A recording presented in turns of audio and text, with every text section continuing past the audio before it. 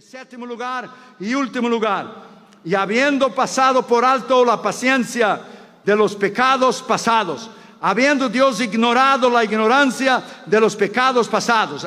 Hechos 17:30, por lo que Dios, pasando por alto los tiempos de esa ignorancia, ahora manda a todos los hombres en todo el mundo, en Puerto Montt, en Osorno, en todo Chile, que se arrepientan que es un pecado de la ley moral de Dios, escritural de Dios y espiritual de Dios, que se arrepienta. Entonces Dios llama a usted hoy al arrepentimiento. Tal vez usted ha fallado a Dios, todos hemos fallado. Tal vez usted está en un pecado tremendo. Usted está metido en problemas tremendos, sea drogas, sea sexo libre, sea homosexualidad, sea lesbianismo, sea alcohol, sea lo que sea, solo Él puede hacerte una persona nueva. Solo Él. No hay nada más que puede hacerte una persona nueva excepto Cristo Jesús. A dos mil años atrás, Dios envió su palabra y nació en una virgen de una mujer llamada María en Belén. Él nació, vivió y murió en aquella cruz. Le pusieron una corona de espina en su cabeza clavos en sus manos, en sus pies. Y usted pregunta, Irión, ¿qué es que él estaba haciendo? Él estaba pagando el precio para salvar tu alma. Allá arriba en aquella cruz él estaba derramando su sangre por usted y por mí. Allá él estaba redimiendo el mundo. Allá en la cruz él estaba derrotando en una batalla cósmica tremenda todos los poderes de las tinieblas. Colosenses 2:14 y 15 dice bien claro que Jesús clavando nuestros pecados, clavando el acta que nos condenaba, alabado sea su nombre, las hizo al ridículo, triunfando sobre las potestades y los principados, y los venció y los hizo en ridículo. Cuando Jesús murió en la cruz, ¿sabe lo que sucedió espiritualmente? El Señor derrotó al diablo, los principados y las potestades. Y la palabra griega ahí es que Él puso como un collar, como se pone en un perro, y Él desfiló al diablo y a todos sus principados y potestades, y todos los demonios, y los expuso al ridículo, los avergonzó delante de todo el universo. Jesús venció, Jesús venció, Jesús venció. Alabado sea su nombre. Jesús venció. Denle un aplauso al Señor Jesucristo. Él venció. Y allá en aquella cruz, Él murió, Él dio su vida, Él derramó su sangre por usted. Allá en aquella cruz. Pero al tercer día Él se levantó con poder. El Cristo que nosotros predicamos no está clavado en un crucifijo. Oh no. El Cristo que nosotros predicamos está vivo. El Cristo que nosotros predicamos es real, es viviente. Él está más cerca que nuestra propia respiración. El Cristo que nosotros predicamos, alabado sea su nombre, ha salvado gente en todos los continentes. Hay un avivamiento mundial donde Él está salvando millones de millones de millones de personas. Porque Él es el camino, Él es la verdad y Él es la vida. Y nadie puede ir al Padre excepto por Él. Oh, denle un aplauso al Señor Jesucristo. A Él la honra a Él la gloria, a Él la alabanza, sea su nombre exaltado. Termino con esto. La necesidad de cada corazón humano es las cinco necesidades básicas, ese deseo de ser amado. Toda persona tiene eso en su corazón. Personas que se han sido rechazadas por sus padres, sus abuelos, sus familiares, tienen un deseo tremendo de ser amado. Jesús puede darte lo que es esa aceptación como nunca usted ha tenido antes. Recuerda que sus discípulos lo abandonaron, los dejaron solo. Jesús sabe lo que es soledad. Segundo, hay un vacío en el corazón del hombre que el hombre intenta llenar a través del alcohol, de drogas, de sexo, de dinero. Nada puede llenar el vacío de tu corazón excepto Cristo. Hay un propósito, tercero, que cada persona en su vida trata de encontrar un propósito para tal persona.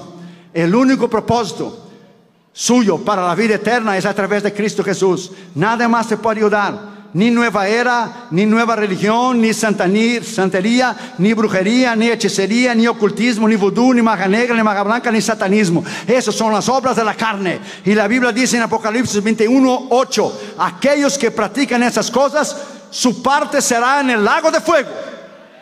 Está escrito bien claro, es que yo quiero aclarar bien claro a los satanistas que nos critican. Y en Chile está lleno de satanistas que nos mandan email, que nos van a hacer eso y eso y eso y otro y otro y otro. A mí usted no me puede hacer nada. Yo estoy cubierto en la sangre de Cristo Jesús. A mí usted no puede hacer nada. Usted está vencido por la sangre de Cristo Jesús y por el nombre de Cristo Jesús. El día 20 de, de, de, de julio, 20 de agosto de mil 2016, un chico satanista me disparó a 10 pies de distancia en la ciudad de Bellingham, allá en Washington. La bala pasó centímetros de mi cabeza y centímetros de mi pecho. Usted ve esos, esos predicadores orgullosos y prepotentes con guardaespaldas. Yo no necesito el guardaespaldas.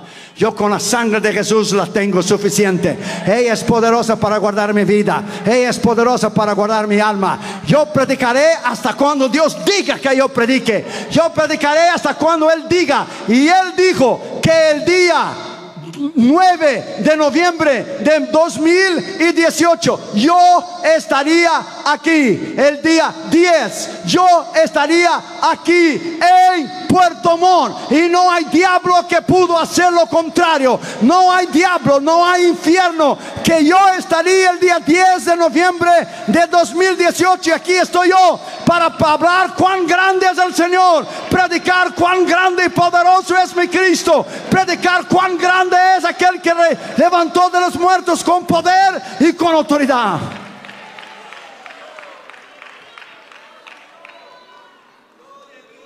Cuarto, el gran deseo del corazón del hombre, la felicidad que él busca. Afuera de Cristo usted no puede encontrar felicidad ninguna. Tal vez usted esté descarriado aquí hoy. Tal vez usted conoció a Jesús y se apartó. Está descarriado, apartado. No sé cómo usted llama desviado. Solo Él puede reconciliar a usted hoy. Y quinto, hay un miedo universal de la muerte en el corazón de cada persona que no tiene Jesús. Nosotros los cristianos no morimos, nosotros dormimos en Cristo. Apocalipsis 14 dice, bienaventurados los que durmieron en el Señor, porque sus obras le siguen. Los cristianos duermen en el Señor. Y en esa noche puede ser que usted esté encuadrado en uno de estos cinco puntos que es el deseo del corazón del hombre. Sepa que solamente Cristo le puede salvar a usted. Nada más puede salvar a usted. Cuando fuimos a Bangkok, a Tailandia, un país budista, en el primer día trajeron un hombre que era ciego de un ojo. Oyó la palabra de Dios, yo prediqué en inglés, traducido al taí, al tailandés, recibió a Cristo y fue sanado instantáneamente de su ojo.